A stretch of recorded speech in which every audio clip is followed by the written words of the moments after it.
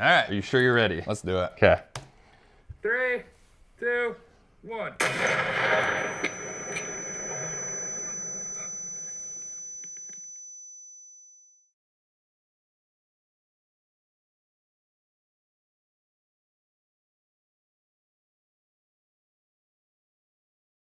If you didn't read that warning, again, let me reiterate, do not watch this video if you are faint of heart. This video does contain some shocking footage. It's potentially triggering to PTSD victims. This is for medical, educational purposes only. We would never glorify this for any reason. This is a pretty unfortunate accident, but we are ready to go over the footage together and see what we can learn from it, talk about safety, talk about our plans for the future, and there is a chance that some of this is still going to be censored. We're not sure at the time of recording how much will be censored, but we want to keep our channel, and if we put up too much graphic content, there's a chance the entire channel gets demonetized. And because of that, if you do see some censored content, that's why the entire unedited, uncensored footage will be available on Patreon if that's the case. That's pretty much the only way we can do this while still keeping our channel. So our link to Patreon will be in the description below and you can go watch it there. But again, do not watch it if you can't handle this because it is very shocking. He's okay with showing the footage that's here. He wants to watch it. He wants to show you guys so we can learn from it. So Adam is back and thankfully recovering. I have returned indeed. It Has. You said one like and I'll come back and here you are. Yes, I did get at least one. It might have been me. I'm not sure. How would you say you're doing now? A lot better. Still takes a lot of uh, wound care. I don't think I'm out of the woods on that yet. Probably still got a solid few months on that. Uh, the nerve stuff, never know. We'll get into that later. But Yeah. People have seen the footage, but it's been blurred. Um, Right. We've done some updates on the hospital and everything, but before we watch it, if you don't know what's going on right now, stop watching this. Our last video has all of the context. Um, we were firing different launchers. We had a Carl Gustav M2 launcher and the RPG-7. Yep. And we had a catastrophic failure during launching basically the final shot of the day. Of course. So yeah, if you don't know what's going on, please go watch our last episode and then return if you feel like you can handle watching what happened. We were studying the effects of the backblast from RPGs because they are um, extremely dangerous. As we saw with the ballistic hand. Yeah, and then as we were doing it to a head, I remember counting down to one, and then next thing I knew, I was on the ground and my arms were entirely black. These aren't sleeves, these are all uh, bandages. They used to be all the way up, but this one's healing pretty good. The rocket launcher basically exploded. I've unfortunately seen this footage several times. Um, I had to save all the footage and you know edit it and prepare all these clips for you, but you've seen nothing other than your memories of like the aftermath. And then the same centered one that is in the, the previous episode. Yep. Correct. Uh, I also, for you guys, I haven't seen any of my gear. I've seen the launcher because we got it demilled and sent to us, and I've put it back in the configuration that w- it was found on the ground. So when we get to the launcher, that's exactly how it was. All right, so I already know what to expect with this, and it's already making my heart kind of go. So I'm I'm mostly curious how this is going to go for you. You've been deployed, you've seen stuff before, but it's going to be different when it's you and you're watching it. And when we were in Texas, I talked to Scott from Kentucky Ballistics, who went through something very similar, and he kind of warned me of that too. All right. So I guess we'll see. Uh, what's this going to be first? Like, is this slow mo? Is this normal Uh, this speed? is this is the normal footage from the red camera, which is our main Okay. normal angle, and you'll hear your countdown as you remember, and it'll happen. And then from there, you know, we can talk about this shot however much you want, however many times you want to see it, and then we can move on to high speed. Um, and yeah, so all right. we'll just see what we can do as far as what we can learn from this. This is the three, two, one word. okay. All right. Are you sure you're ready? Let's do it. Okay. Three, two, one.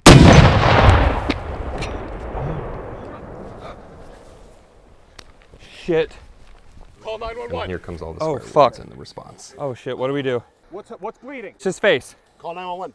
I'll call it, I'll call it. I don't know if you can see there, but like my body was already like tremoring and Holy shit.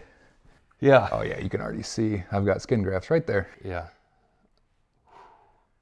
Okay. Wow. yeah, that rocked my Um, shit. you want me to pull it back? Yeah. Uh, okay. We'll get into some of this in the high speed, but I mean, you were you're inside an explosion for an instant, and it Oh, it, it oh, throws you. There, there isn't a a second of that that I could see on that first one where I even there was no attempt to catch myself. I'm I'm instantaneous. Oh, you're- yeah. like You're done. Like you are immediately unconscious, as far as I can tell. that was nuts. All right, You gonna see it again? Yep. Okay. Three, two, one. Dude, I can't even see my helmet leave frame. I know. Shit. Call 911. Oh fuck. Oh shit. What do we do? What's what's bleeding? It's Another thing I want to point out while I'm thinking about it. So when people experience trauma in terms like blunt force trauma, it's not uncommon for your body to seize up in whatever position it was in. Something that happened to you, you can see it right here, like your your right hand that was grasping that front handle there clamped up in that way. So when you're laying there, keep in mind this camera was way off further left than we were. So it can see your fingers there. We couldn't. So one of the Oh. things we th- what we saw was your burnt arm and then nothing. Oh. So there was all sorts of things of like, did this happen? Did that happen? Kind of thing. Three, two, one.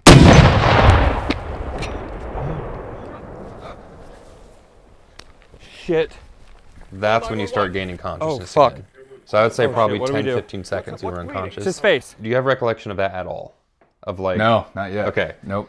Because the first thing, the first thing I saw when like my eyes met your face was your jaw definitely got like shoved somewhere it's not supposed to be. The lower part of this part of your jaw had like moved out and it was pushing your skin out some, and the bottom part of your jaw, what's that bone there? Is that the mandible? I think so. Okay, that the whole bottom part of your face was a bit sideways. And then seeing all the burns and thinking for a second maybe you lost your hand and the smoke and just like the shock setting in, it was like, what actually happened here? I mean, the launcher looks like it left too. Oh, it went up. That, it went say, up that's not air. where I was. I was, yeah. Yeah, it it it lit, it launched. What's happening? We're calling 911. For what? We're calling 911. For what? You're, you're bleeding. From where? You're bleeding from inside He's your doing head. the right thing there, holding me down. Yep. Do you have memory of this? I don't think yet. So you just turned off your own mic there accidentally, and then it Okay. comes back on later. But what what's interesting here is your brain knows something's wrong, obviously. Right. And I think the first thing that kicks in for you with your medical training is figure out what's wrong and help. And it's weird because you're the person that needs the help. Right. So so you're asking like what happened and then when when Todd says we're calling 911, you're asking like what for? Like why? So I don't know if that's like your brain's shock and confusion or if your brain is still trying to figure out like who do we need to help? Like what's going on? Probably like do you remember more- asking those questions? No. Okay. Nope.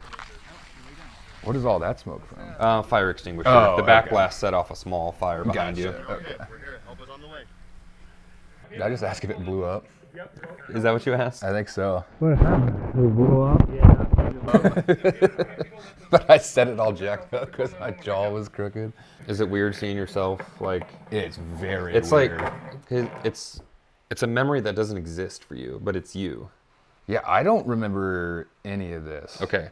Because you're about to see one of the first memories that you've told me about, which is talking about the medical bag. Yeah. What to get out of it. That's coming up soon. So it's probably, let's see, it's been over two minutes since it happened. Oh, wow. So that much of your memories, at least right now, doesn't exist. In my truck. First aid is in the instructions. We have Okay. first aid. Is that where your memory comes back? No. Inside the, the comma's gonna be on his right side, right here. Where inside hands the big where the bucket.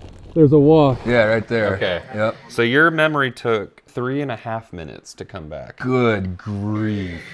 Oh, you can't see it. I'm digging. Okay. Because I remember digging in the bag. Just off it's just camera. off camera. Okay. Yeah. This has to be surreal for you because you you never saw your at least your face from an outside perspective No. until you were like in, the, hospital. in the trauma bay. Yeah. But for a while there, that laceration in your face was bleeding so much it was down on your neck, and I think that was confusing some people. They thought your neck was bleeding, so they were applying Oh. pressure there first. um, until it was more obvious it was coming from your cheek. Gotcha. I don't have any medical allergies. Okay. Any heart things they need to know about? Nope, no Okay. heart conditions, no medical allergies. I'm probably dehydrated. Okay. Can we get? They're probably going to give you saline Yeah. immediately. We can saline IV when they get here. Is my right arm burned? My right arm burns. Okay, is there more of that? The big ones? So this is when we start smearing all the stuff all over you, applying these pads. And, About this time was, I think my brain kind of went, okay, like someone else is doing the things that I was wanting to get done, and then I don't remember. Kinda much after drifted that. off. Yep. But you said I stayed up and talked, and yeah. So about this is when I thought I should probably turn off the cameras because it didn't feel like the right thing to do. And then later I went and turned the camera back on because I'm like, this should probably be documented. okay. But was it on high speed? I don't even know or care. or care. there is a little bit more of later on. This is you being treated. Oh, okay. So we got like actual. Looks Yeah. like law enforcement showed up first, and then Do you remember this? Sitting there and talking to officers? nope. After the like kind of first aid stuff, I don't remember anything until the helicopter. Okay. So yeah, they kind of just look you over until the helicopter gets there, make make sure you're covered up, and this shot isn't norm is isn't as slow as we normally do. For this, we had the flex camera, 3,000 frames a second to see everything, and then the 2512 is like close in on like this area. Okay. So this isn't going to give us like hyper detail, but it's still we're going to see something. Yeah, there it goes. Shit. Yep. It's it's like a war movie shot. Like it's it's one of those things you can't fake basically. It's Michael so Michael Bay eats your heart out. yeah, look, there's the plate. Yeah, let me let me wind that back. Holy shit. So it started normal. Yeah. I mean, rocket's moving. We can see some propulsion coming. So it like it didn't instantaneously malfunction. Like, oh my god. This is the first glimpse of it going off. Yeah, Look, it's like bulging. And look at all that fight. Like, I don't have a beard now, but they they shaved that off. Yeah. I, I lost almost no You hair. had basically your full facial hair intact, and I was very surprised because, like, look, hell. like you're in Oh my. You're in God, flames for a while. If you saw this footage and didn't have any context, would you not have thought like that would kill a person?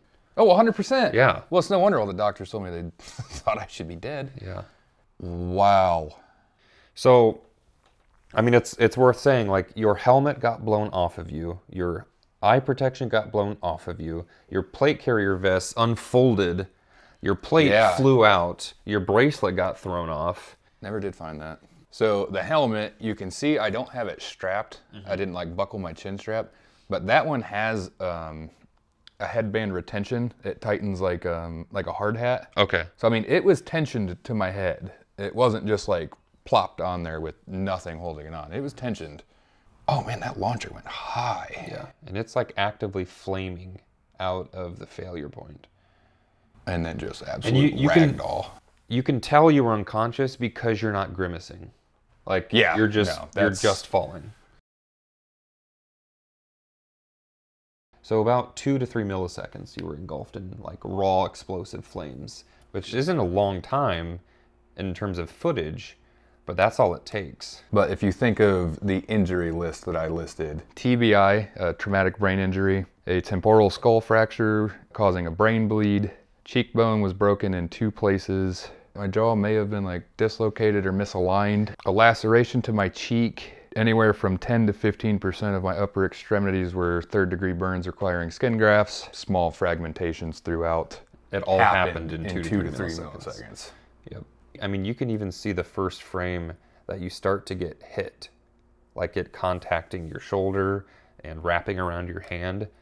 Like this right here is the last millisecond of you unharmed. Right. And then the next millisecond, you're already being harmed right there. That's nuts.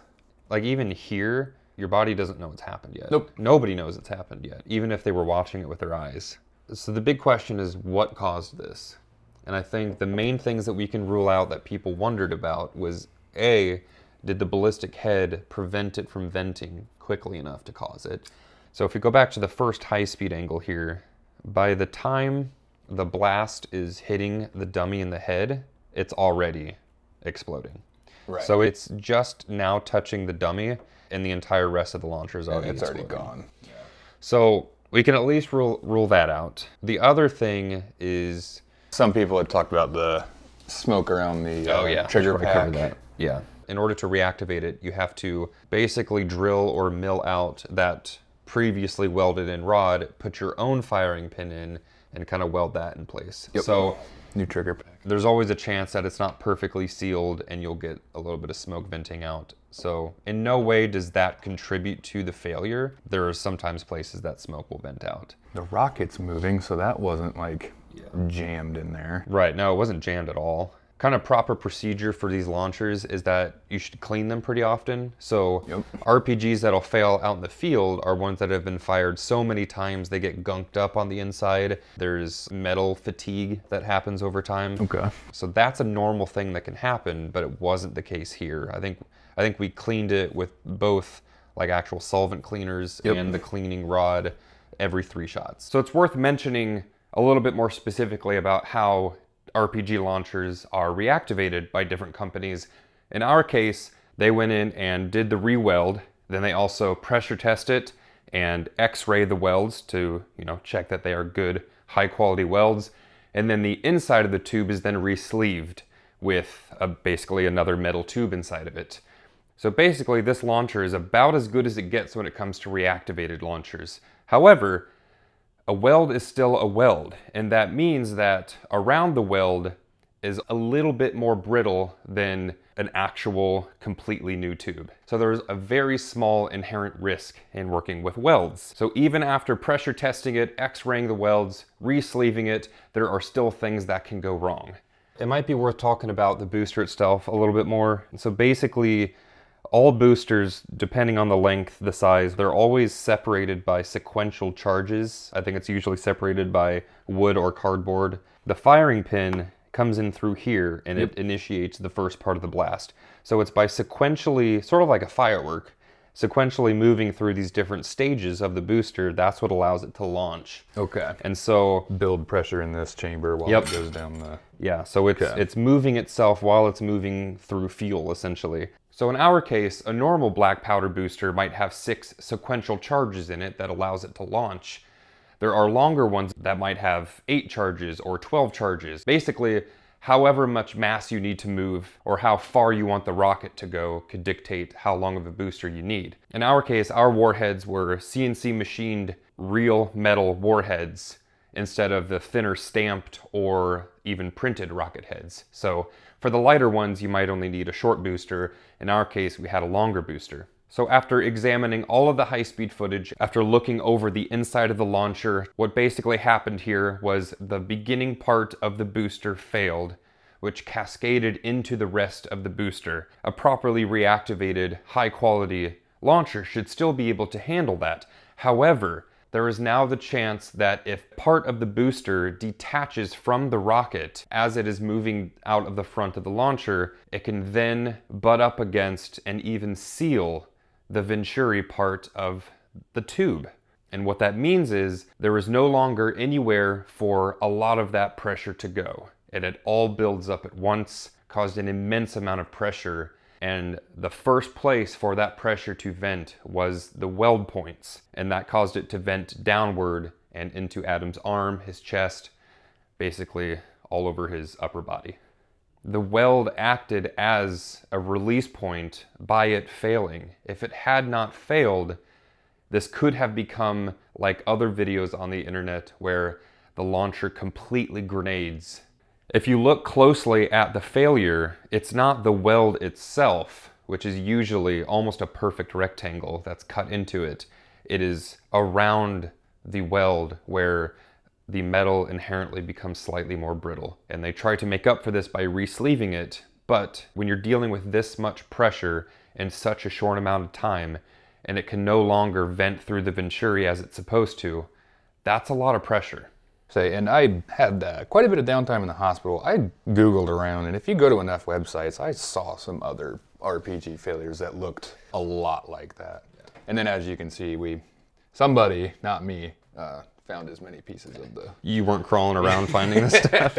found as much of the furniture as uh, as they could. Some of this got splintered into oblivion, but I mean, They're, it's, uh, it's about how that stuff works. So it's one of those things where high speed footage gives us a decent glimpse at what happened, but it's only going to be educated guesses. And Yeah, this is right. based on all of the footage we've looked at, different people we've talked to.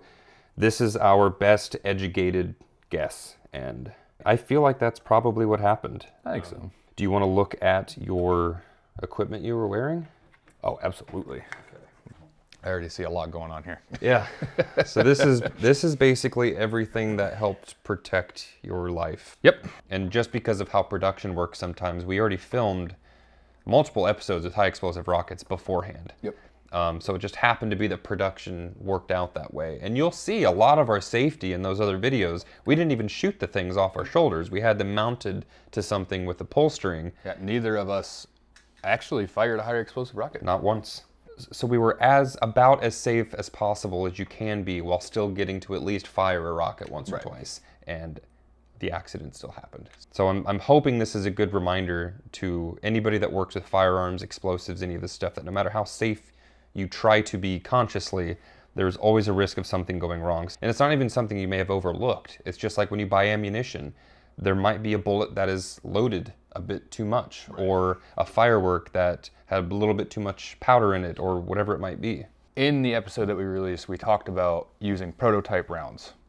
None of the RPG 7s were prototype rounds. We were discussing the Carl Gustav rounds. Yes. And even then, I shouldn't probably shouldn't have used the term prototype. Yeah. They had been tested numerous times already. So those weren't things that we were just bringing out and firing for the The only thing they did not have yet was the way the casing vents out the back Right. to make it recoilless. Everything else was was proper. I think there's like a different fuse because there was a little bit of a delay between Yeah. the two. But so none of the RPG stuff was prototype. That was all very standard. Especially the boosters. Boosters are like the same boosters you'd use for any test. Right. Yeah. Todd, who's been in this industry for a long time, he gave us like the best chance at success at this. It, it was his launcher. Nothing about his launcher caused this failure, which I think is important to point out. It's just like a gun. Like you give it the wrong ammo, it's not the gun's fault. Right. We gave it a booster that ended up failing, and Yep. And I still talk to Todd daily. Yep. We're still friends. He has decided to leave the industry. Um, he did a lot of machine gun rentals and then launcher stuff. Being there, it affects people different ways in seeing things like that. I mean, Yeah. y- you've kind of talked to me about um, it's like it can be difficult. I mean, uh, and so he discussed it with his family, and between himself and his family, they decided to get out of the business. That and that that isn't guilt. We need to point that Right. out. Right. Yes. Nope. It was just a decision that they made. So you will notice um, he closed down all of his social medias and his website and everything. We had a few people point that out to us. We're aware. Yep. Um, he told us he was doing it. That is that is his way of handling what is essentially a bit of mental trauma from this. Right. That is his way of handling it. That's a totally personal thing, and we're gonna let him do that. That's Yep. what he needs to do. Um, we all handle it differently, and that that was his method. Yeah, Todd's Todd's still a good friend of ours. Um, so, Absolutely. So please don't think that him doing that stuff was in any way guilt on his part, because. I mean, it'd, it'd be like if I didn't post this video just because that was my way of handling it. That's not guilt. That's just it's different when you see videos on the internet of accidents and stuff. When it's your friend right in front of you, it's different. So just just have some respect and um, yeah, just give just give people space when they need it. I would say. Yeah. So as you guys can see, we're back at the range. We have a few high explosive rocket episodes still coming out. Um, thankfully, were filmed before the accident. Yep. Um, so we still have some content to come, but we are ready to move forward. And as as a way that you guys could support us moving forward, a way to support his healing and medical bills, things like that, we have a new line of merchandise that just came out. And if you guys want to buy that, that is a great way to directly support him and get something back in return to show your support for the channel. Absolutely.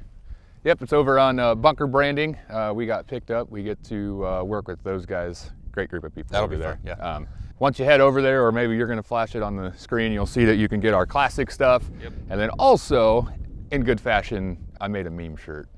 And before anybody freaks out, As they it, do in the gun industry. it was my idea.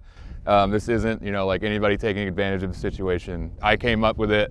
Bryce made it a reality, but it was my idea because this isn't going to stop me. I'm back. We're going to go full tilt. I mean, I've still got, you know, a little bit of a limp and things, but yeah, we'll, we'll take uh, things slow. We're not done. Uh, we want to. We believe in this channel. We think it's doing extremely well. All thanks to everybody that hits that subscribe button and sticks around. There's been an immeasurable amount of positive support lately Yeah. for you. We pretty well believe that we have found our core audience of people that enjoy our content and believe in us.